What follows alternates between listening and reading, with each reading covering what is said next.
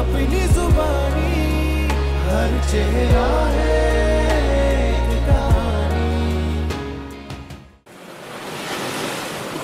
कभी ये, मैं और तुम भी तो थे। मेरी खुशियों की वजह तुम ही तो थे। यूँ न था कि भटक गए थे। एक दूसरे में गुम ही तो थे। हाथ छुड़ा के गए कुछ सदा से। मेरे हिस्से में फकत अब गम ही तो थे। एक वादा करोगे मुझसे कि तुम मेरा हाथ कभी नहीं छोड़ोगे अगर ये हाथ छूट गया ना तो ये साथ छूट जाएगा। मेरे कदम रुक जाएँगे बल्कि यूँ समझो चलना ही भूल जाएँगे।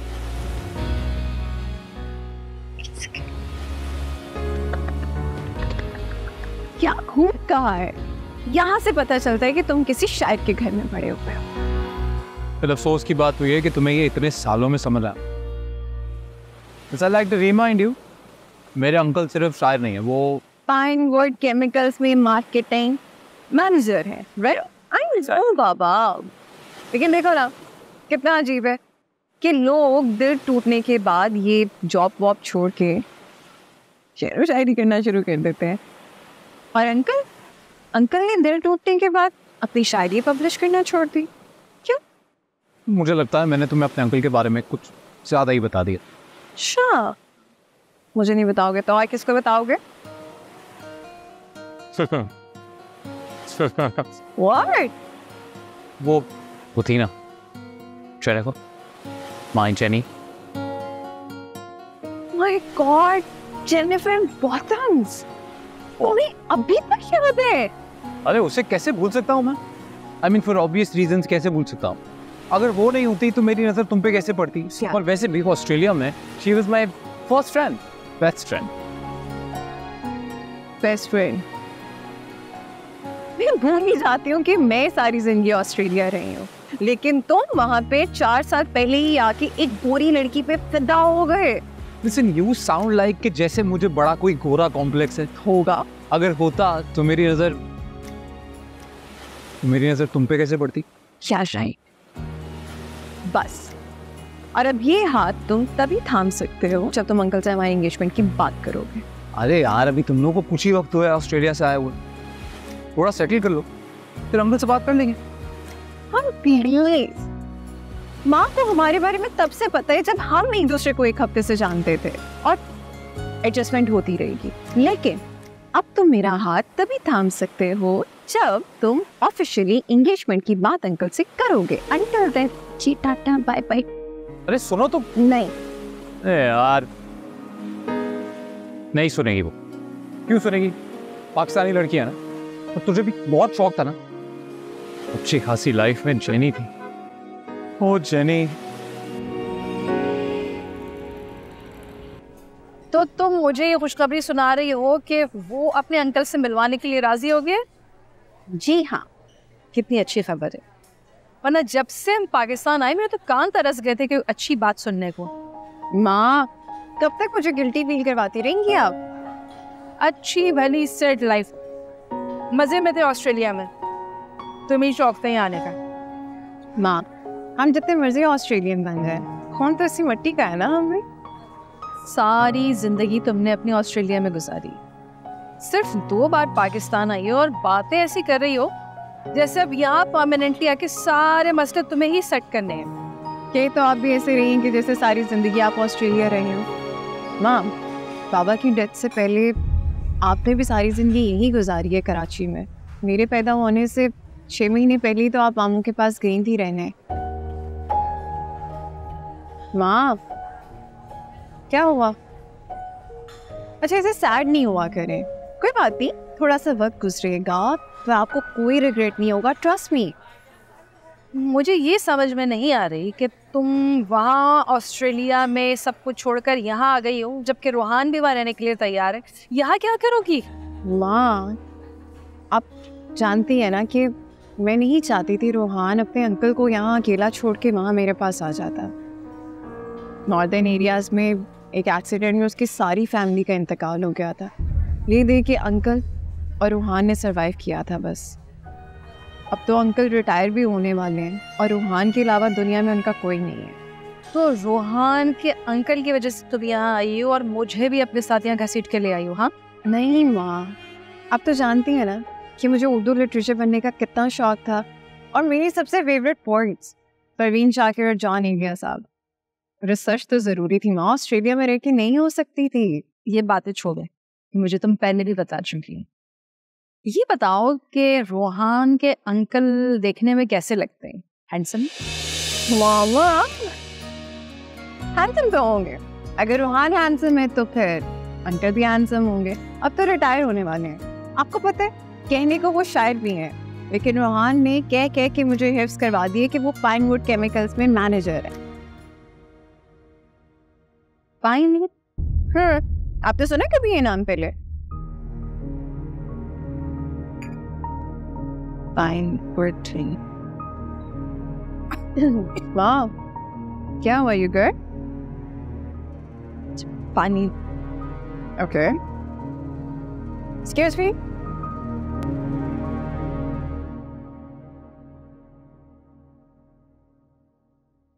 यार वैसे मुझसे ज़्यादा इस लड़की को ज़रूरत है एनक की।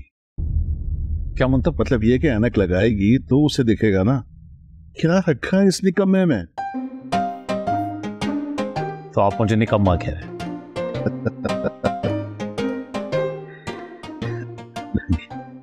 मज़ाक कर हूँ इधर बहुत खुश हूँ तुम्हारे लिए। आ तो आ, मिलते हैं अलीना से उन्हें कल बुला लो घर पर। कौन अलीना? अरे अलीना नहीं अलाया अलाया नाम है उसका। यार ये आजकल के नाम अपने पल्ले नहीं पड़ते। खैर अब याद कर लीजिए अलाया। और उन दोनों से मिलने फिर हम यूनिवर्सिटी चले। यूनिवर्सिटी ऐसी बातें यूनिवर्सिटी में थोड़ी होती हैं। वो दोनों यूनिवर्सिटी में ही रहते हैं। ओह। अच्छा? और ये अलीमा के वालिद क्या करते अलाया अलाया नाम है उसका। और अब्बू उसके उसके पैदा होने से चंद माह पहले हार्ट अटैक से उनकी डेथ हो गई। जो इन्ना लिल्लाहि व इन्ना इलैहि राजिऊन। एक्चुअली अलाया ना पाकिस्तान में परवीन शाकिर जॉन एलिया इन सब की किताबों को इंग्लिश में ट्रांसलेट करना चाहती है रिसर्च करना चाहती है। दैट्स वाई उसने सेंट जॉन्स यूनिवर्सिटी में। सेंट जॉन्स यूनिवर्सिटी या सेंट जॉन्स हाँ। क्या हुआ अंकल बहुत बुरी यूनिवर्सिटी है। बहुत अच्छी है। ओके। मेरी तो जवानी की बहुत सारी यादें वाबस्ता है वहाँ से। दैट्स वंडरफुल देन हम उनसे मिल भी लेंगे। और आप अपनी जवानी की यादें ताज़ा कर लीजिए। नहीं यार।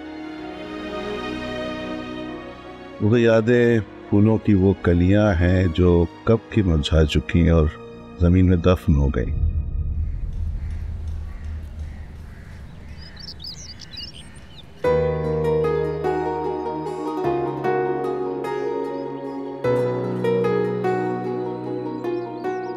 ये भी क्या बेबसी है?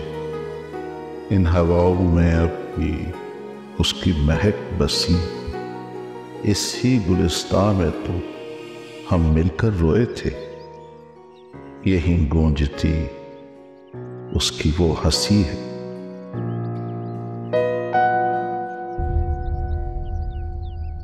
यूँ ना था कि वो हमें चाहता ना था। अफवाह थी, वो बेवफा है। दिल हमारा ये मानता ना था। मजबूरी उसकी कोई रही होगी। कि अफवाह को यकीन कर गया। झूठे वादे से सजा कर एक घर मुझे उसका मकीन कर गया। Ma-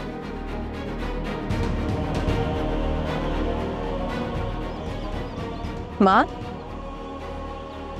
माँ व्हाट हैपेंड नहीं, कुछ नहीं। चलो, हम किसी और दिन मिलेंगे। चलो। सिंस करो। माँ? आप आपको पता है मुझे आपसे मिलने का बहुत इश्तराक था। क्या था? इश्तराक? क्या हुआ? मैंने कोई गलती कर दी? अब वो अ, गलती?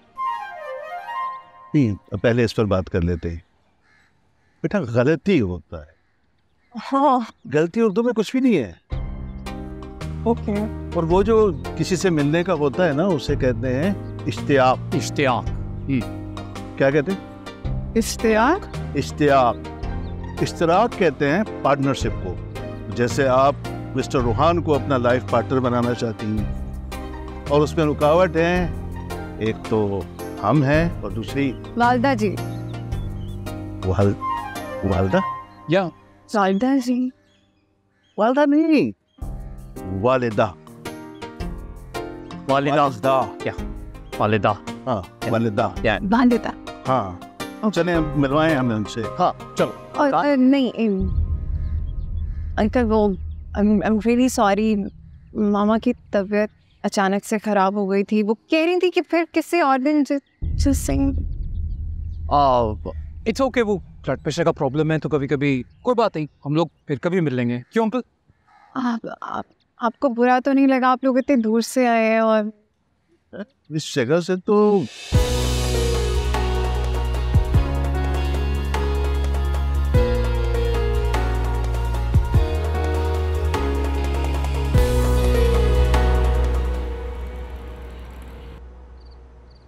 माँ जो कुछ भी हुआ वो नहीं होना चाहिए था। बहुत कुछ ऐसा है जो नहीं होना चाहिए था लेकिन हो गया। क्या कर सकते? मामा आप क्यों मुझसे हर बात को घुमा फिरा के कर रही हैं? आजकल सीधी बात करें ना। सीधी बात। सीधी बात यह है कि मैं उस शख्स हुमायूं से बिल्कुल मुलाकात नहीं करूँगी अपनी जान दे दूँगी लेकिन उससे बात नहीं करूँगी। समझ आइए तुम्हारा जो दिल चाहे करो।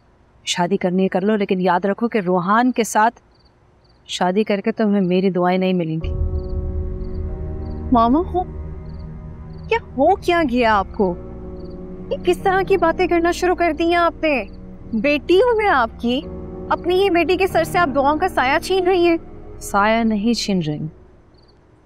बल्कि अपनी बेटी को और उसकी खुशियों को धूप से बचा रहे हैं। माँ तो आपको इतना ट्रस्ट होना चाहिए अपनी बेटी पे कि आपने उसको इतना स्ट्रांग बनाया है कि वो धूप छाँव गलत अच्छे बुरे को समझती है अपनी हिफाजत करना जानती है। आता है। और मैंने ही सिखाया तुम्हें ये। लेकिन अभी तक उसे मौसम की पहचान नहीं है। धूप क्या है छाव क्या है तुम्हें नहीं पता। आपको है पहचान? आपको तो वो की ना पहचान। आपको तो सब आता है आपको तो सब पता है।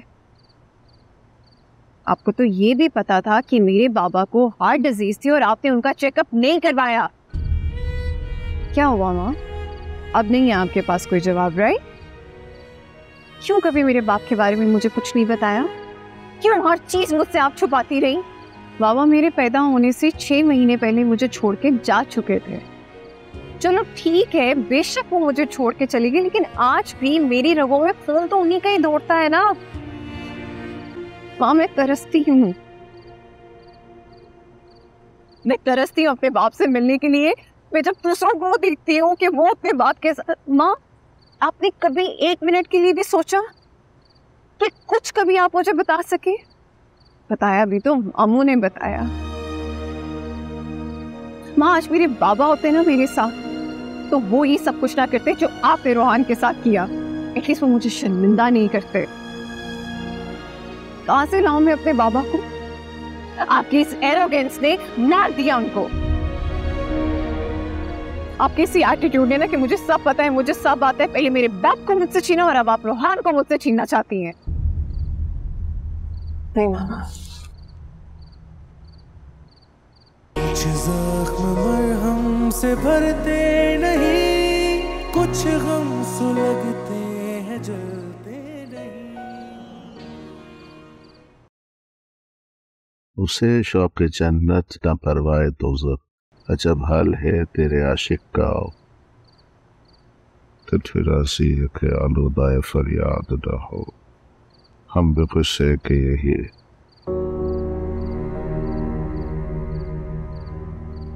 खुदा खैरियत है ना कुछ नहीं कुछ भी तो नहीं ऐसे ही बस फिर कब जाने का प्रोग्राम है उनकी तरफ़ बस जाना है मैं आपको बता दूँगा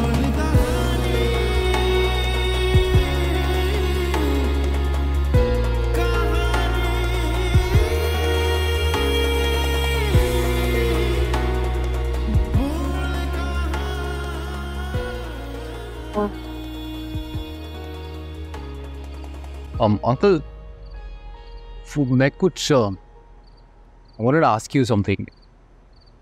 मैं पूछना चाहता था कि कुछ नहीं नहीं नहीं पूछो पूछो क्या पूछना है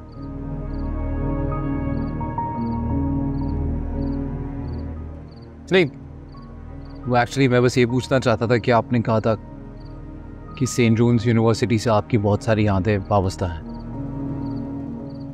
क्या यादें हैं वो?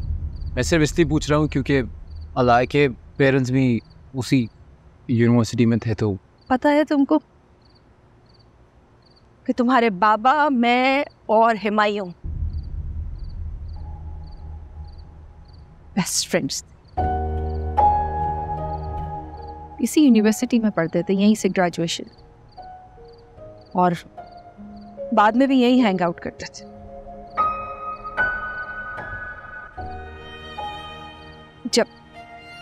तुम्हारे बाबा से मेरी शादी हुई तो तुम्हारे बाबा बीमार हुए। हमने हिमायूं को बुलाया। उसने कहा कि वो कुछ अरसे के लिए शहर से बाहर जा रहा है और आ जाएगा। अगर वो नहीं आया मैं अकेली इस शहर में फिरती रही, किसी को नहीं जानती थी। मेरा कोई नहीं था ना तुम्हारे बाबा का। तुम्हारे बाबा चले गए। और उनके आखिरी अल्फाज थे, काश हिमायूं यहाँ होता।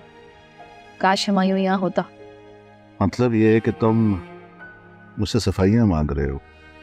अच्छा नहीं अंकल। मैं कौन होता हूँ आपसे कोई भी सफ़ाई मांगने वाला? मैं तो बस ऐसे ही बोल कहानी अपनी जुबानी सॉरी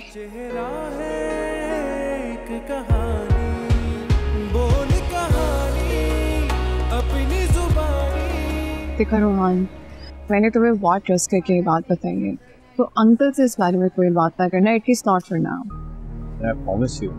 नहीं करूँगा मैं स्टूपिड नहीं हूँ मैं won't talk to him. I promise. तुम्हें पता है मामा ने तो मुझे बहुत मना किया था कि मैं तुमसे इस बारे में कोई बात ना करूँ पता नहीं कौन कौन से उन्होंने मुझे वास्ते दे दिए थे कि मैं तुमसे ना मिलूं और हमारा फ्यूचर भी ना सोचूं What? इतना आसान है उनके लिए सब कुछ कह देना। Anyway, देखो तुम परेशान नहीं हो। तुम्हारी मामा को हम हम मना लेंगे। जहाँ तक बात है अंकल की तुम्हारी मामा की ज़िंदगी से उनका ही गायब हो जाना श्योर उसके पीछे कोई एक्सप्लेनेशन होगा। कोई रीज़न तो होगा जो हम नहीं जानते।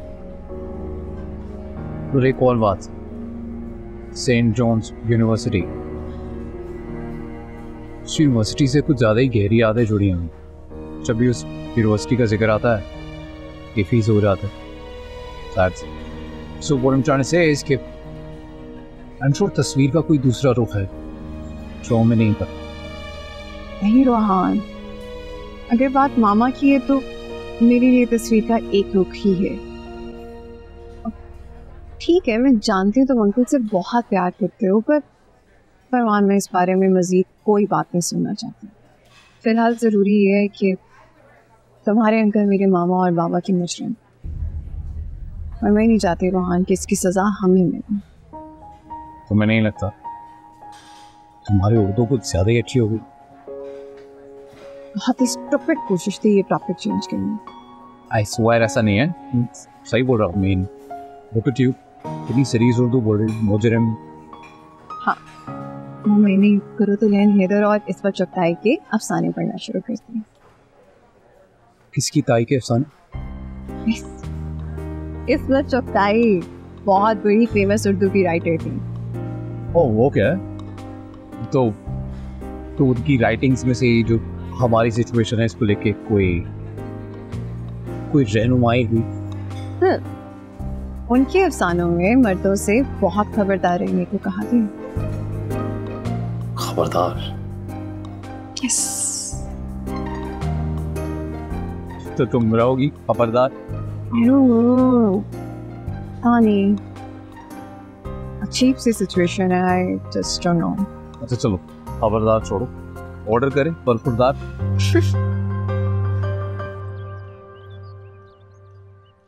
माजरत चाहता हूँ बेटा यूँ बगैर बताए बगैर पूछे मुँह उठाकर चला आया। अंकल, रोहान ने कुछ कहा है, आप आपसे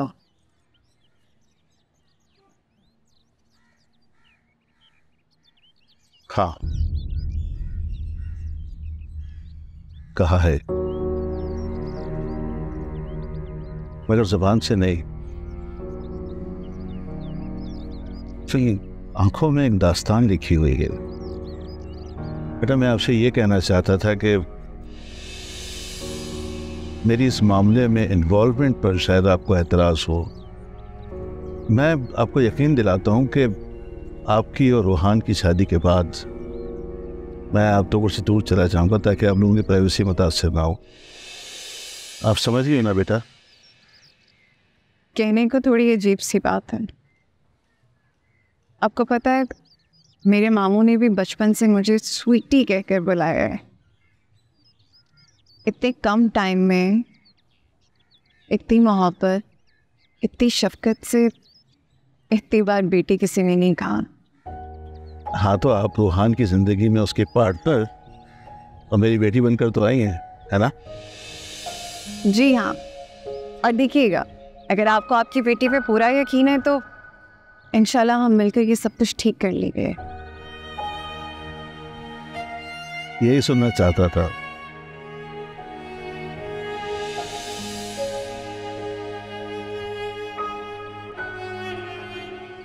मामा मैंने उन्हें यहाँ नहीं बुलाया था। वो खुद यहाँ आए थे और मैंने आपको बताया था इस बारे में। इतनी सी बात से मामू से कहकर आपने ऑस्ट्रेलिया की टिकट्स करवा ली। This is not fair please मामा आपसे बात कर रही हूँ।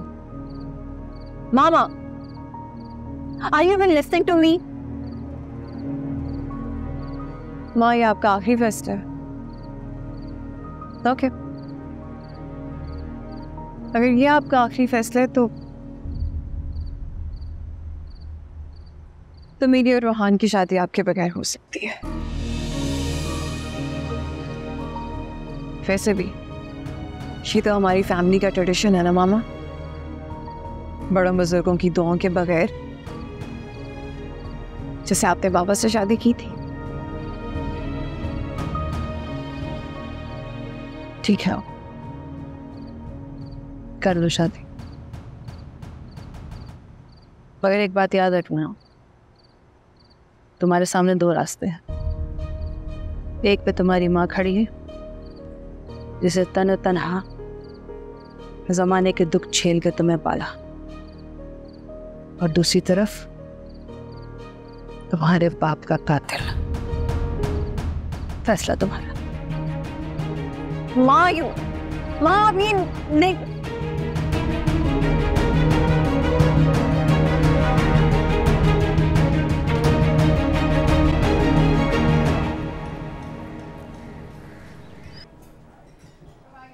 ला व्हाट इज़ दिस यार?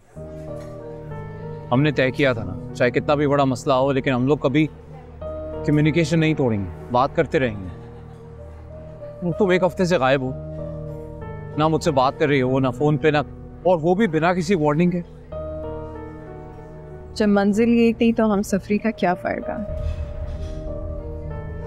Listen, what are you trying to say? क्या कहना चाह रही हो? रोहान मैं और मामा ऑस्ट्रेलिया जा रहे हैं। मैं चाहती हूँ कि तुम मुझसे मेरी ज़िंदगी से दूर चले जाओ। इसे तुम जानती भी हो क्या कह रहे हो।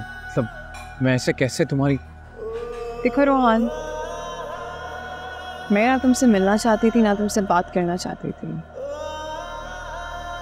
कल हमारी वापसी की फ़्लाइट है मैं चाहती तो तुम्हें हर जगह से ब्लॉक करके बिना कुछ बताए जा सकती थी पर मैंने ज़रूरी समझा कि एक आखिरी बार मिलके मैं तुमसे बात कर लूँ as a courtesy courtesy.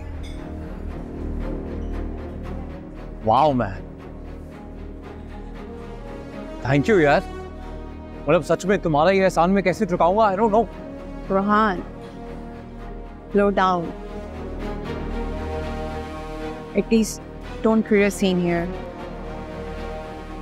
मैं सीन क्रिएट कर रहा हूँ। मैं कर रहा हूँ। Rohan, लोग देख रहे हैं। अच्छा है। तो तमाशा लग ही रहा है। तो सबको खोल के देख ले। Excuse me, uh, so sorry to disturb you. Normally आप लोगों ने रेस्टोरेंट्स में प्रपोजल्स देखे होंगे लड़का लड़की एक दूसरे को अपने दिल की बात कहते हैं, पर यहाँ कुछ अलग है। ये मिलिए इनसे ये इस दुनिया की सबसे बेहिस लड़की है। सालों का रिश्ता, बिना कुछ कहे, बिना कुछ बताए, तोड़ के मुझे छोड़ के जा रही। प्लीज़ तालियाँ बजाइए इनके लिए। Well done man I knew it was a bad idea. I wish मैं माँ की बात सुन लेती और तुमसे बात करने ही ना आती। रिश्तों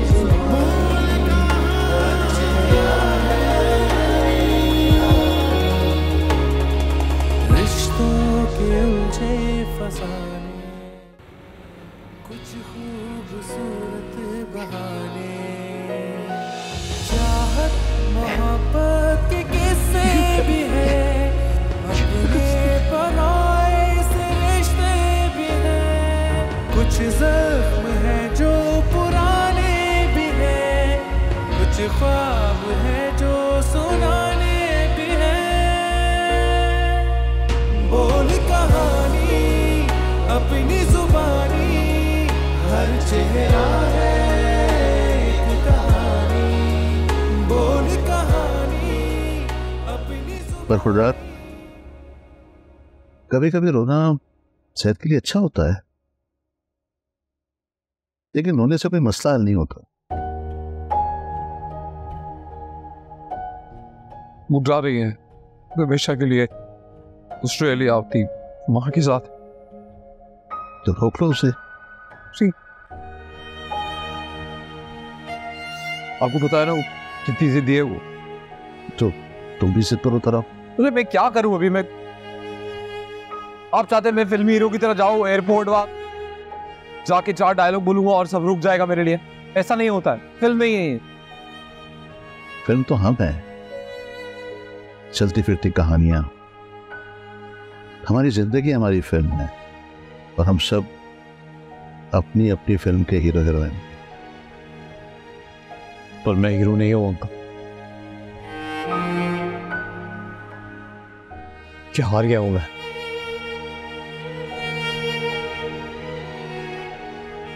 ये हीरो का हार जीत से कुछ लेना देना नहीं होता।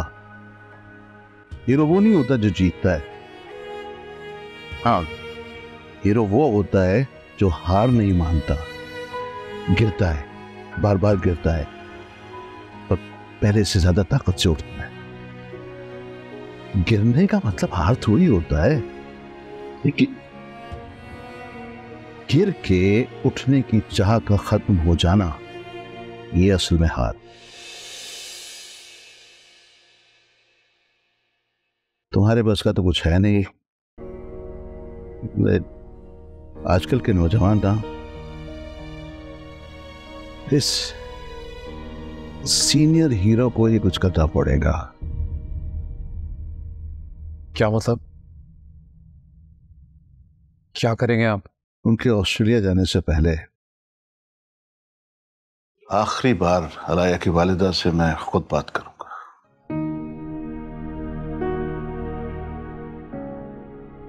एक ख्वाब है ज़िंदगी ये, कोई शराब है ज़िंदगी ये। सालों पुरानी बात थी, लंबी ये गम की रात अब जो तुझसे मिलूँगा, मुझे पूछना है। सवाल कोई मुझमें बसता है, ख्याल कोई। तू मेरा होकर क्यों ना मेरे पास रहा? शायद मेरे इस ख्याल का, सवाल का बदबक जवाब है। ज़िंदगी ये ज़िंदगी ये। रोहान तुम्हें इन्हें यहाँ लेकर नहीं आना चाहिए था का कोई कसूर नहीं है Come on, man. He's he's a hero. He's my hero. रुक जाओ मेरी बात सुनकर जाना बैठ जाओ बस मैंने तुम्हें कहा था मैं लौट आऊँगा। सर, तुमने थोड़े से इंतज़ार में ये हार मान ली। जो कुछ भी हुआ, मैं तुम्हें माफ़ कर दूँगा। लेकिन तुम बच्चों पर जुल्म मत करो। तुम? मुझे माफ़ करोगे? तुम मुझे माफ़ करोगे, हुमायूं? पच्चीस साल गुजरने के बाद अपने आप को माफ़ नहीं कर सकी क्या? क्यों? क्यों मैंने अपनी ज़िंदगी की सारी खुशियाँ तुम पर निछावर की? क्यों मैंने तुम्हारे जैसे वादे के झूठे शख्स पर एतबार किया? अपने खानदान वालों से मुँह मोड़ लिया? तुम्हारी खातिर? मैं तो अपने आप को माफ़ नहीं कर सकी हुमायूं। तुम मुझे क्या माफ़ करोगे? मैं लौट कर आया था अंबर। कब? दो हफ़्ते का कह के गए थे ना? दो महीने तक तुम्हारी कोई खबर नहीं थी। मैं दो महीने तक कोमा में था। तुमने मुझे मौका ही नहीं दिया कि मैं तुम्हें सब कुछ बता पाता।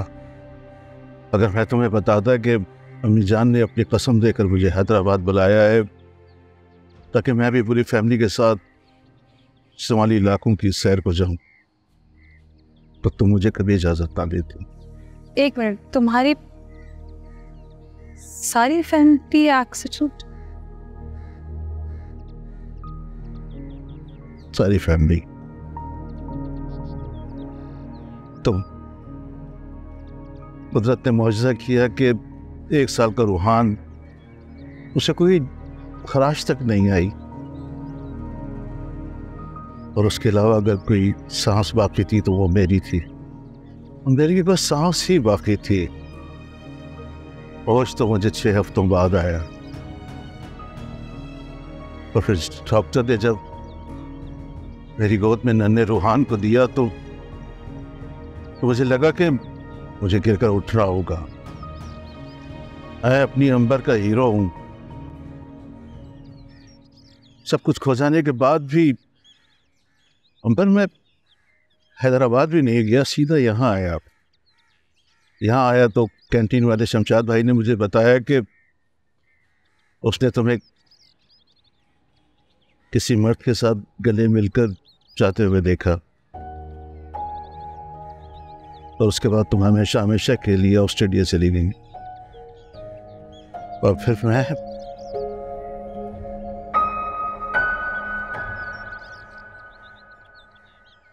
एक बार फिर से सब कुछ खो बैठा। वो मेरे भैया थे हुमायूं मैंने उन्हें बुलाया था। जब महीनों तुम्हारी कोई खबर नहीं मिली तो तुम्हारे दफ्तर वालों से मालूम किया। उन्होंने कहा, दो महीने से तुम्हारा कुछ अता पता नहीं, मालूम। हम तुम्हारे हैदराबाद वाले घर भी गए थे। कोई खबर नहीं थी तुम्हारी हुमायूं और उस वक्त हमारा ऑस्ट्रेलिया चले जाना ही बेहतर था। पता नहीं क्यों मुझे यकीन हो गया था कि मुझसे निकाह करके तुम हमेशा के लिए हमें छोड़ के जा चुके हो। अमर, मुझे इस बात की खुशी है कि तुमने दूसरी शादी। अलह बहुत अच्छी लड़की है। लेकिन मुझे बहुत अफसोस हुआ कि उसके वालिद का हार्ट अटैक आया। मेरी बात सुन। सच तो यह है कि तुम्हारे अलावा मेरी ज़िंदगी में कोई शख्स नहीं आया। तुम्हारे जाने के बाद भी नहीं। और मैंने दूसरी शादी नहीं की माइन अलाया के अबू का हार्ट अटैक, उसके मामू की एक घड़ी हुई, बनाई हुई एक कहानी, क्योंकि वो जानते थे। अलाया बड़ी होकर अपने बाप के बारे में ज़रूर पूछेंगे। एक मेरा भाई तो था हमारा हामी। मैंने भी मैंने भी यही कहानी घड़ी। लेकिन हकीकत ये है कि अलाया सिर्फ़ मेरी नहीं वो हमारी बेटी है। फिर से कहानी बुनी है, जो कहीं अनसुनी है। रिश्तों के उलझे फसाने, कुछ खूबसूरत बहाने। चाहत